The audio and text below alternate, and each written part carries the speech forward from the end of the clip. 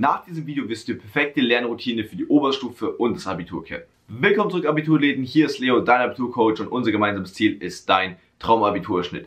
Du hast vielleicht gerade äh, die Situation, dass du super viel lernen musst, ja entweder grundsätzlich Oberstufe, Klausurenphase oder das Abitur lernen und stellst die Frage, wie mache ich das am besten? Wie kreiere ich da eine Lernroutine, die ich dauerhaft durchziehen kann, damit ich möglichst effektiv lerne und vor allem auch eben konstant lernen. Nicht nur ein paar Tage mal ganz viel und dann auf einmal gar nicht mehr. Und genau darauf wirst du jetzt eine konkrete Antwort bekommen mit entsprechenden Zeitangaben. Erstens, Konzentrationsdauer festlegen. Das ist wahrscheinlich eine Sache, über die du dir noch nie so richtig Gedanken gemacht hast. Du musst dich wirklich bewusst. Und zwar, wie lange kann ich mich am Stück eigentlich wirklich konzentrieren? Ja, mach dir mal Gedanken darüber. Also es geht nicht darum, dass du den ganzen Tag lernst, weil dann bist du auch wieder nur müde und ziehst dich wirklich durch. Und auch nicht, dass du nach 10 Minuten gleich wieder nächste Pause machst, ja, sondern irgendwie einen Mix daraus. Überleg dir mal, was ist eine sinnvolle Zeit, die ich echt sinnvoll lange konzentrieren kannst. Ich denke mal, bei den meisten von euch wird das so zwischen ein und zwei Stunden liegen. Für manche von euch sind es vielleicht echt nur eine halbe Stunde und danach geht's nicht mehr. Viele von euch verwenden ja auch die Pomodoro-Technik. Meiner Meinung nach ein zu kurzes Zeitintervall. Darüber kann man sich streiten, aber ich würde wirklich so empfehlen, ein bis zwei Stunden sollten auf jeden Fall gehen. Manche von euch sind vielleicht auch echt gewohnt, einfach vier Stunden am Stück am Schreibtisch zu sitzen. Das ist natürlich auf jeden Fall auch möglich, aber finde deine richtige Mitte und dein Pensum sozusagen. Zweitens, wie viel Lernzeit hast du insgesamt? Fragezeichen. Denn du musst natürlich auch irgendwie in deine Woche das Lernen integrieren. Sprich, ich würde mir jetzt einfach mal rausschreiben, okay, wie viel kann, will ich am Montag investieren, wie viel am Dienstag, Mittwoch, Donnerstag und so weiter. Also zum Beispiel Montag zwei Stunden, dann Dienstag drei Stunden, dann Mittwoch nur eine Stunde, Donnerstag vier Stunden, wie auch immer, ja. Aber einfach so, wie das Ganze für dich eben Sinn ergibt. Dann drittens, wie viel Pause brauchst du? Und zwar, wie viel Pause brauchst du, um wieder frisch zu sein, vom Kopf her. Wann kannst du dich wieder auf das Lernen konzentrieren? Ja, stell dir vor, du hast jetzt so eine, deine, ähm, ja, Konzentrationsdauer, die du für dich selbst festgelegt hast, wirklich fokussiert gearbeitet. Wie viel Zeit brauchst du dann, um wieder zu regenerieren, um dann wieder dich ranzusetzen? Ja, das kann jetzt, ich denke mal, da ist es vielleicht so im Rahmen von fünf bis zwanzig Minuten. Kürzer ist nicht wirklich effektiv.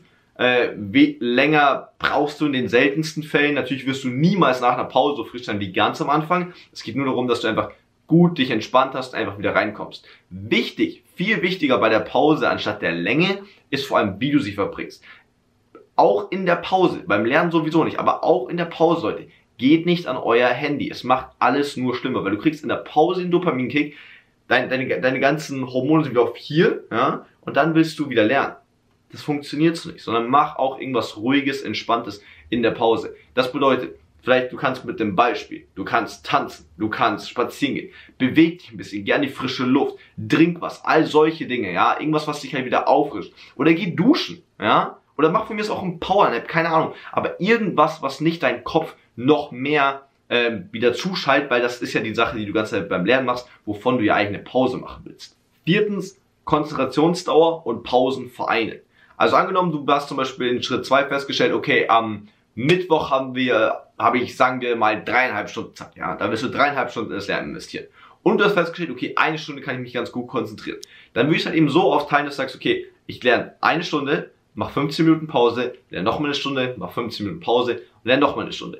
Und das ist auch so wirklich am allereffektivsten, weil dein Kopf gewöhnt sich irgendwann und auch dein ganzes Körpersystem an daran 60 Minuten am Stück am Schreibtisch sitzen. Und du wirst das merken, wenn du diese Routine ein bisschen ähm, länger durchziehst, dann wird sich auf einmal komisch anfühlen, nach 40 Minuten schon aufzustehen und eine Stunde 20 am Schreibtisch sitzen, wird sich auf einmal mega lang anfühlen. Das heißt, das, was du dir am Anfang jetzt hier durch dieses Video aussuchst, das wird dann dein normaler Standard. Natürlich kann man jetzt sagen, oh, ich wäre gleich vier Stunden, weil dann ist ja auch nur dreieinhalb Stunden zu lernen, für mich fühlt sich dann wenig an.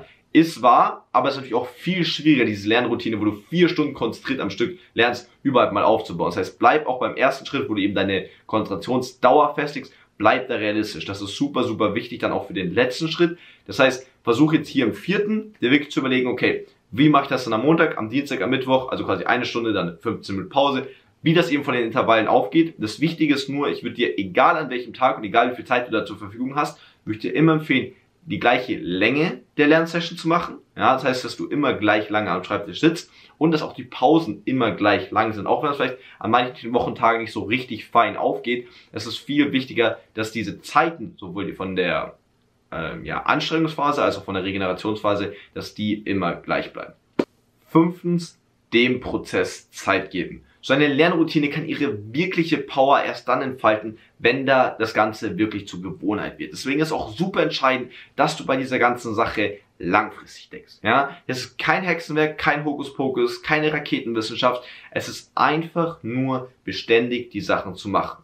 Und dabei ist es auch ganz wichtig, dass du dann zum Beispiel, auch wenn du jetzt vielleicht durch das Video motiviert bist und die gerade vornimmst, super viel jetzt zu lernen, dass du auch dann, ja, gleich am allerersten Tag, auch konsequent deine Pausen machst. Ja, also nur weil du jetzt irgendwie da nach einer Stunde noch voll die Energie hast und voll Motivation hast, mach trotzdem deine Pause und dann fang wieder an. Weil es ist tausendmal wichtiger. Die Motivation, die wird an manchen Tagen da sein, an anderen wird sie nicht da sein. Aber deine Gewohnheit, die ist an jedem Tag da. Und deswegen ist es so wichtig, dass du jetzt über die nächsten Tagen und Wochen die richtig sinnvoll aufbaust. Weil sobald die mal steht, sobald diese Lernroutine, du jetzt durch dieses Video für dich selbst entwickelt hast, sozusagen die feste wirklich drinnen ist, ja, dann wird es für dich super leicht sein, dauerhaft effektiv zu lernen, weil dein Kopf und dein Körpersystem daran gewöhnt ist, so lange am Schreibtisch zu sitzen und du wirst auch den ganzen Ablauf schon kennen und es wird alles viel besser funktionieren. Du kannst nämlich auch innerhalb einer Lernsession erst dann richtig Gas geben, wenn es für deinen Körper total normal ist, so lange oder für diesen bestimmten Zeitraum auch am Schreibtisch zu sitzen. Deswegen gib dem Ganzen bitte unbedingt Zeit.